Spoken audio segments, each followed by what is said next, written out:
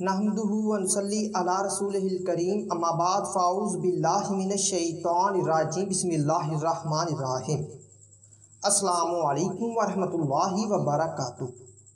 बात करते हैं ख्वाब में सफ़र की ताबीर के हवाले से। इस ख्वाब के देखने की मुख्तलिफ़ सूरतें हैं और उनकी मुख्तलिफ़ ताबीरें हैं। अगर आप अपने ख्वाब की ताबीर मालूम करना चाहते हैं तो इस वीडियो के साथ बने रहिए। वीडियो की जानब बढ़ने से पहले आपसे एक छोटी सी रिक्वेस्ट है कि अगर आपने अभी तक मेरे चैनल को सब्सक्राइब नहीं किया तो अभी करें। और साथ लगे हुए बेल आइकन को भी लाजमी प्रेस करें, ताकि हमारी तरफ़ से आने वाली हर एक नई वीडियो का नोटिफिकेशन सबसे पहले आपको मिल सके और आप अपने ख्वाब की ताबीर बसानी मालूम कर सकें। ख्वाब में सफ़र नामालूम आबाद इलाके या जगह का करना। या ऐसे इलाके का जो आबाद है, मगर साहब ख्वाब के लिए वो जगह या मुकाम नामालूम है। तो ये रंजो गम पाने, गुमराह होने और फितना फसाद पाने की दलील है। इसी तरह सफ़र नामालूम, गैर आबाद जगह या इलाके का करना, ये किसी आफत के नाजिल होने, अपने अहलो एयाल से जुदा होने और मौत आने की निशानी है। साहबी ख्वाब को चाहिए कि वह हसब तोफ़ी सदका खैरात करे। इसी तरह ख्वाब में सफ़र नामालूम वीरान मुकाम या जगह का करना। ये ज़िंदगी को ख़तरा लाक होने, तबाह हो, बर्बाद होने और दुनिया से कूच करने की दलील है। साहब ख्वाब को सदका खैरात करना चाहिए। इसी तरह अगर कोई ख्वाब में सफ़र दिन को नामालूम मकाम या जगह की तरफ़ करता देखे अगर आबाद ना मालूम मकाम की तरफ़ करता देखे तो मकरो फरेब पाने परेशानियों में मुबतला होने और ज़िल्लत पाने की। और अगर किसी नामालूम गैर आबाद या वीरान इलाके का सफ़र करता देखे तो ये दंगा और फसाद पाने किसी बला में मुबतला होने और मरने की निशानी है। साहब ख्वाब को चाहिए चाहे वो मर्द है या औरत, तोबा करे और हसब तोफ़ी सदक़ खैरात करे। अगर कोई ख्वाब में सफ़र रात को नामालूम मकाम या जगह की तरफ़ करे, अगर आबाद इलाके की तरफ़ सफ़र करता देखे तो ये सख्त बीमार होने, गमो अंदोह पाने और कंगाल होने की दलील है। और अगर नामालूम गैर आबाद और वीरान मुकाम का सफ़र करता देखे तो ये किसी अचानक आफत के नाजिल होने मुश्किल पाने और मरने की दलील है। बेहतर है कि सदका खैरात कर दे। इसी तरह अगर कोई खाम सफ़र अकेले किसी नामालूम मकाम या जगह की तरफ़ करे, अगर आबाद मकाम या जगह है या मकाम है उसकी तरफ़ सफ़र करता देखे तो ये बदनाम होने की और जलीलो खार होने की और साथ किसी मुसीबत के आने की निशानी है। और अगर गैर आबाद और वीरान मुकाम की तरफ़ सफ़र करता देखे तो ये ख़ानदान से जुदा होने और मरने की निशानी है। अगर कोई खाम सफ़र अपने रिश्तेदारों के साथ या रिश्तेदारों में से किसी के साथ नामालूम मकाम का करे, अगर आबाद मकाम की तरफ़ करता देखे तो ये रंजो गम पाने की।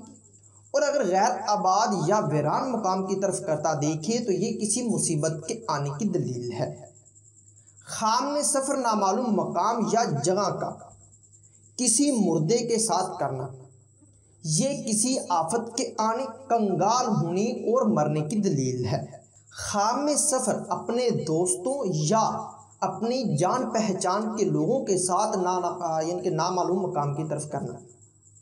अगर आबाद मुकाम की तरफ़ है तो ये नुकसान होने, घबराहट पाने की। और अगर गैर आबाद या वीरान मुकाम की तरफ़ है तो ये किसी मुसीबत के आने, ज़िल्लत पाने और फितना फसाद पाने की निशानी है। इसी तरह अगर कोई खाम सफ़र नामालूम मकाम की तरफ़ लोगों के साथ या यानी कि नामालूम जगह की तरफ़ करता हुआ देखे तो अगर आबाद मकाम की तरफ़ है तो ये बलाओं के नाजिल होने, जलीलो खार होने और कंगाल होने की।